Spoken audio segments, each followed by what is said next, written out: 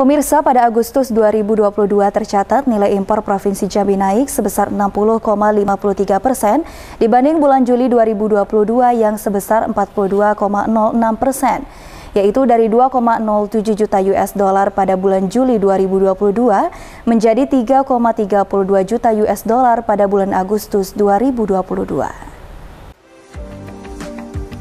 Dari bulan Januari sampai bulan Agustus 2022, impor kelompok mesin dan alat angkutan memberikan kontribusi sebesar 57,94 persen dari total impor.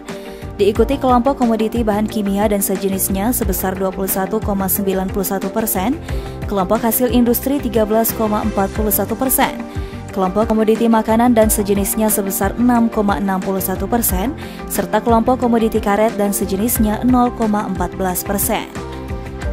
Dengan impor terbesar dari nilai impor pada kelompok komoditi bahan bakar mineral, kelompok komoditi mesin-mesin, pesawat mekanik, kelompok komoditi lokomotif dan peralatan kereta api, serta kelompok komoditi plastik dan bahan plastik. Perkembangan nilai impor Provinsi Jambi bulan Agustus 2022 dari negara-negara pengimpor utama. Empat negara dengan transaksi impor terbesar pada bulan Agustus 2022 adalah dari negara Singapura, Malaysia, India, dan Cina. Iqbal, Jack TV, melaporkan.